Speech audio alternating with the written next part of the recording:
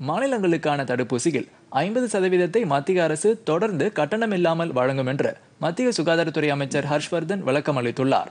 இது தொடர்பாக முகநூலில் பதிவிட்டுள்ள அவர் பல்வேறு மாநிலங்கள் தங்களது விருப்பப்படி தடுப்பூசி போடும் பணியை மேற்கொள்ள அனுமதிக்குமாறு கேட்டுக்கொண்டுள்ளதாக தெரிவித்துள்ளார். எனவே மாநிலங்கள் மற்றும் யூனியன் பிரதேசங்களுக்கு ஐம்பது சதவீத தடுப்பூசியை கட்டணமில்லாமல் மத்திய அரசு வழங்கும் என்றும் மீதமுள்ள ஐம்பது சதவீதத்தை மாநிலங்கள் தங்களது விருப்பப்படி வாங்கிக் கொள்ளலாம் என்றும் அவர் கூறினார். மாநிலங்கள் வாங்கிக் கொள்ளும் தடுப்பூசியை யாருக்கு பயன்படுத்துவது என்பதை அவர்களே முடிவு செய்யலாம் என்றும் இதில் தனியார் துறையினருக்கும் வாய்ப்பு அளிக்கப்படுவதாகவும் அவர் கூறினார்.